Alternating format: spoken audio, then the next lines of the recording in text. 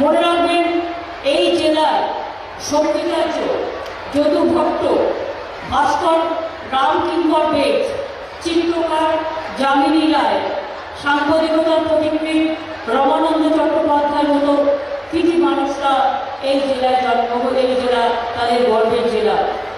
বিষ্ণুপুরের টেরাকোটার মন্দির, বিষ্ণুপুর সংগীত ঘরানা, বালুচরী স্বর্ণচরী শাড়ি, পাঁচমুড়ার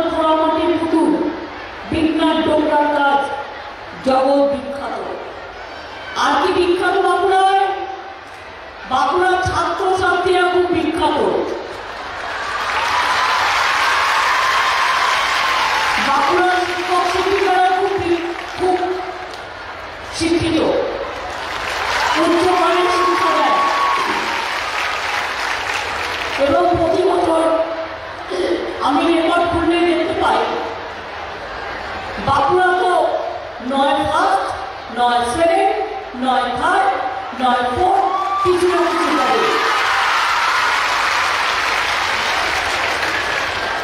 আর আমাদের যত ডাক্তার ইঞ্জিনিয়ার লয়ার ব্যারিস্টার সব বাঁকুড়ায় জন্মেছে ম্যাক্সিমাম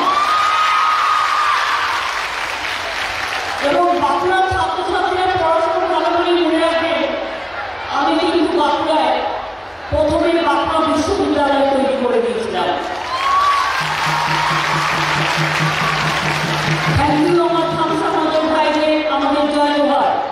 সামনেই মাধ্যমিক।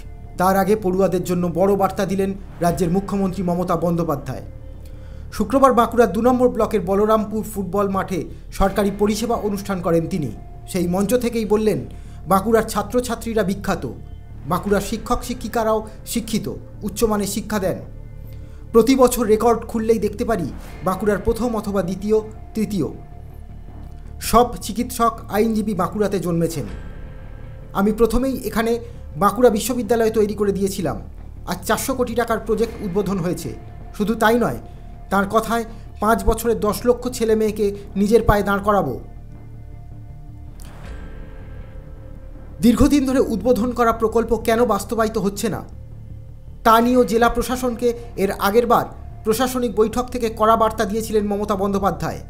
পঞ্চায়েত ভোটের আগে এবারও বাঁকুড়া জেলা থেকে বেশ কিছু গুরুত্বপূর্ণ বার্তা রাখলেন মমতা। এই অনুষ্ঠান মঞ্চ থেকে প্রায় একশো পঞ্চাশ কোটি টাকার সাঁত্রিশটি প্রকল্পের উদ্বোধন ও একশো নব্বই কোটি টাকার পঁয়ত্রিশটি প্রকল্পের শিলান্যাস করেন তিনি। কর্মসংস্থানের বার্তা দেন। পাশাপাশি একশো দিনের কাজ থেকে আবাস যোজনা নিয়ে কেন্দ্রকে কটাক্ষও করেন তিনি